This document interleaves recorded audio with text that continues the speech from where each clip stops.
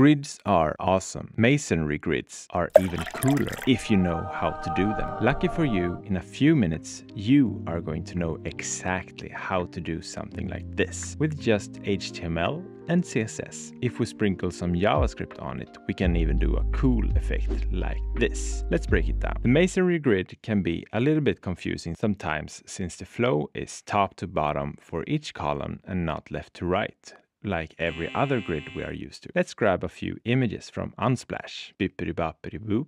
Hop over to our code editor and put them in separate image tags on our website. Give them width 100% and height auto so they keep their width to height ratio but still take as much width as they can. We separate them a bit with margin bottom and now to the secret sauce columns. This is an awesome CSS property that we can sprinkle onto the div that holds our images and give it, let's say, 3. And there we have a masonry grid of 3 columns. Let's give them some space with column gap. Now this is cool and all, but let's make it even better by having some text appear when we click on the images. To create this, we need to add a class on our masonry grid that we can call active, which can be toggled to hop between the ordinary masonry grid and a masonry grid that has a perspective modifier. In the active class, we put the perspective modifier in the transform property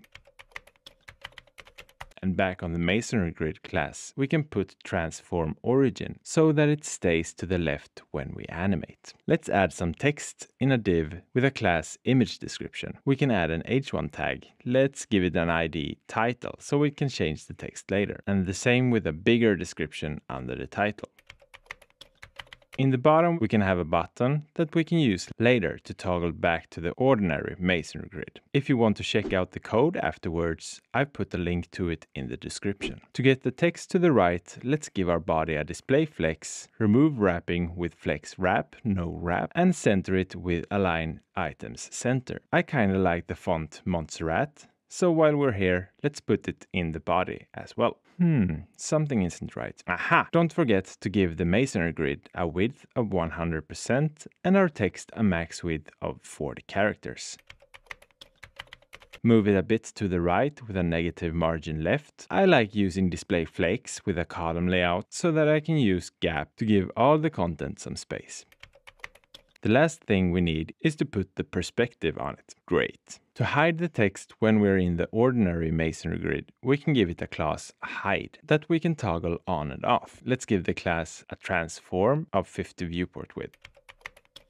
Awesome. Let's give the button in the text a function to call on the onClicked property hide description should be fine. We want to be able to click the images as well. And to do it the correct way, let's wrap all the image tags in buttons and let them call the function show description with the index number of the image so we can connect it with some titles and text later put some effect when we hover an image, scale 1.2 should be fine. And a Z index of 2, so it scales on top of all the other images. In our JavaScript, we can use these texts I've put together. Let's create the function show description. First, we want to remove the class hide from our div with the class image description. Then, we want to add the active class to our div that has the class masonry. Oh, and also update the h1 with the title for the image and the description in the paragraph below.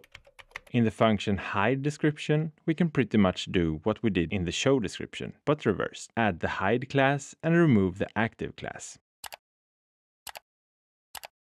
Hmm, hop's a bit too quick for me. Let's add a transition property to slow the animation a bit. Oh, and don't forget to add an overflow X hidden to the body class. Amazing! If you want to learn what the different animation properties do, I've got the video just for you right here.